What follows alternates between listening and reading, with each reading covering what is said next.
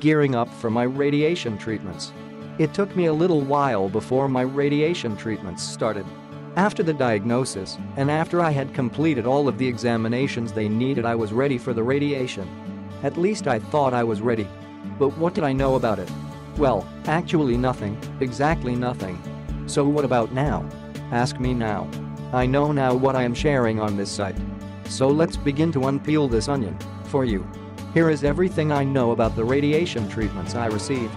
Please remember I am not for or against any prescribed treatments. To my best observation, it sure looks like every patient has their own diagnosis and treatment plan. This is what I experienced. The pre-radiation measurements. So about two weeks before my actual radiation plan started I came to the SANS Cancer Center and I had a session where I was measured. Well what exactly is this?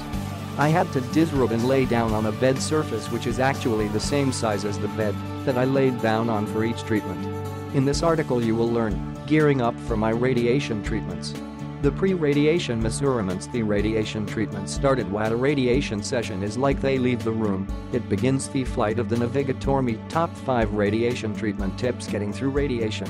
This took about 20 minutes of time and was a separate visit to the hospital and the cancer center. They measured everything they needed to know about my size and mapped out locations for all of the radiation beams to be used. The radiation treatment started. My first radiation visit was scheduled for a Wednesday. My plan called for visits every day Monday Friday.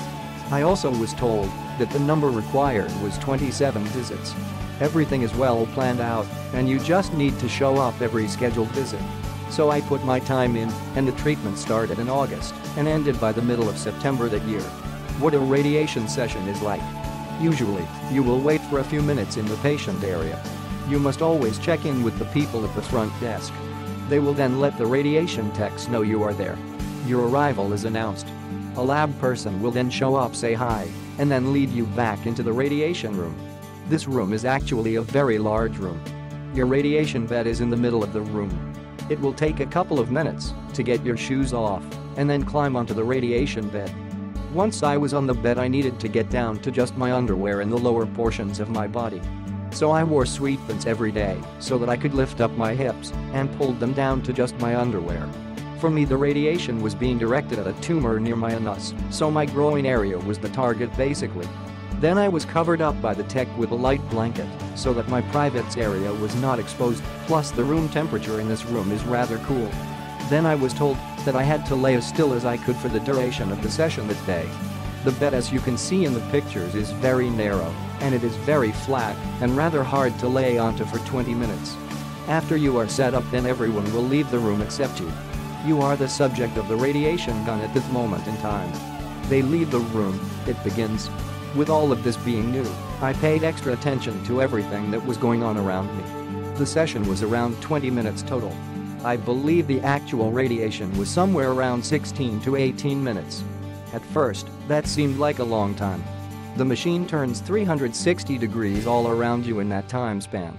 The machine is quiet, except for starting and rotating into the next exact location.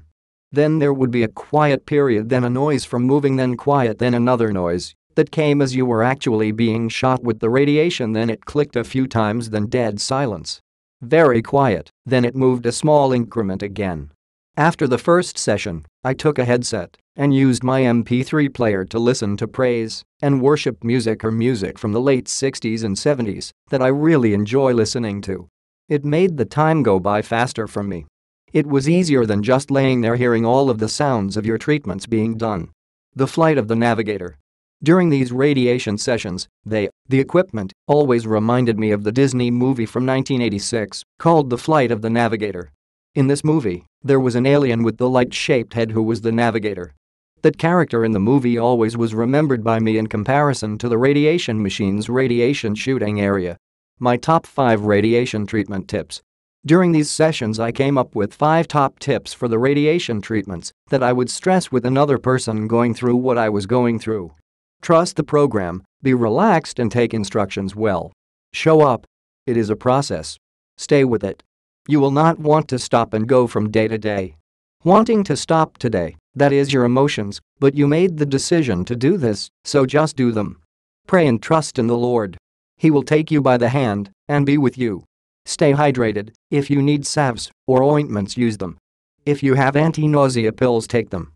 Keep on top of any side effects, both medically and with your attitude. You will very easily get dehydrated, so keep drinking water, it will help a lot. Read positive books. The Bible, the New King James Version. The Power of Positive Thinking by Norman Vincent Peale, and four great books by Pastor Robert Schuller.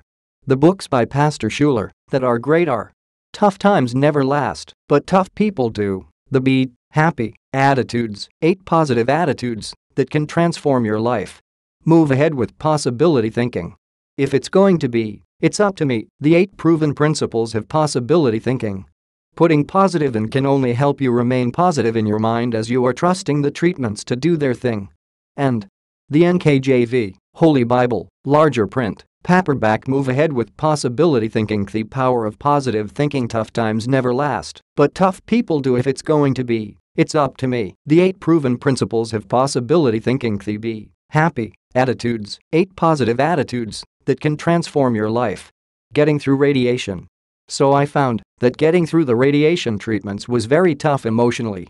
You had to stay focused all the time on just getting through the next session. Trying not to look too far down the road. During my 27 sessions over the six weeks plus that it took, I did have two updates on the treatments. Dr. B, as he was called, said that the radiation was doing as they had hoped. It was shrinking the tumor, and he also said that I seemed to be handling the side effects pretty well. I simply would say yes, prayer does work, as I smiled at the word of the report. Was I that confident? Well, yes and no. Since I had never been through this before, I fully trusted the medical team with my treatments and I fully trusted God with my life. Was it easy? No, but it was doable.